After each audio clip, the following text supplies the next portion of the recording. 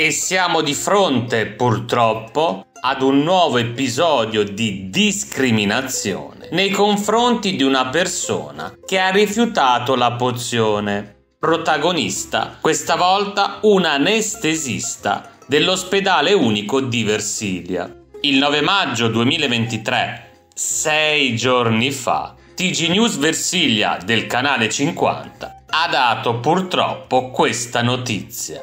Guardiamo assieme il servizio.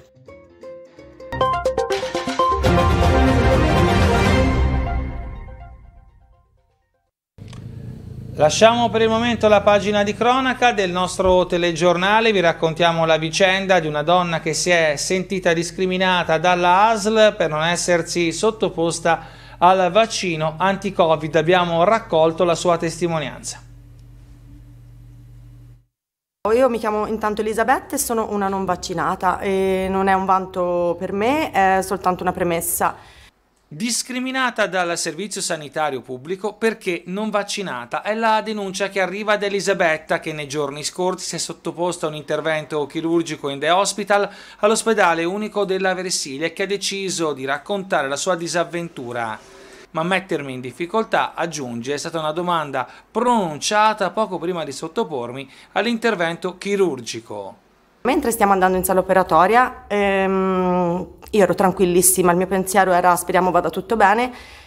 Una persona dal, alle mie spalle, eh, che io lì per lì non, non vedevo, mi, mi domanda se, ero, se avevo il vaccino. Il vaccino, che è una cosa che ormai non lo so, non voglio fare né, né politica né polemica però mi sembrava una domanda fuori luogo. Io rispondo di no, tranquilla, perché ho detto ma mi farà da dottore, mh, mm, mi darà dei consigli del perché o mi, mi, mi chiederà il perché. Invece mi sbeffeggia in faccia un bel complimenti, complimentoni. Io, eh, siccome ho eh, il mio carattere, mi sono un pochino risentita e difesa su, su quel lato lì, perché io mi sono spaventata, ho pensato subito che mi avessero trattato male, che mi potevano operare male. Sono, eh, dallo spavento mi sono difesa. Ho detto, guardi signora, io non ho il, non ho il vaccino, però eh, insomma, ho contratto il Covid e poi che domande sono, che discriminazioni sono, perché mi ha fatto questa domanda? E lei mi ha continuato a dire complimenti.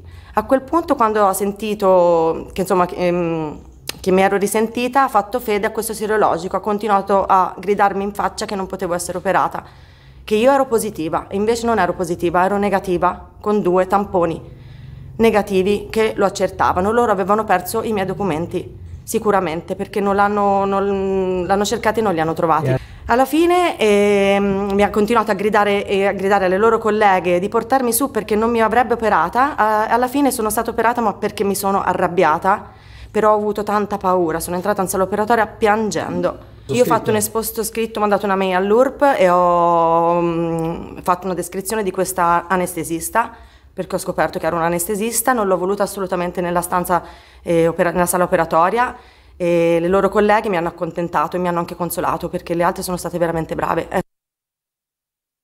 Immaginatevi la situazione. Uno è già preoccupato perché deve subire un intervento. Invece di essere tranquillizzato, viene messo ancora di più sotto tensione da un anestesista che ancora discrimina chi ha rifiutato una pozione non s- e non è ormai lo sanno i muri, i sassi, i vetri, gli ultimi della classe non lo sa solo chi non lo vuole sapere. Il 15 maggio 2023, dopo che l'OMS ha dichiarato conclusa l'emergenza Covid, in Italia avvengono ancora questi episodi.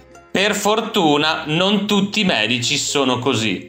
A questo punto io mi aspetto dalla stessa classe medica la condanna di questo episodio, perché se tacete siete complici. Voi che idea vi siete fatti di tutto questo? Fatemelo sapere in un commento. Se ti è piaciuto lascia un grande like e se non l'hai ancora fatto iscriviti al canale.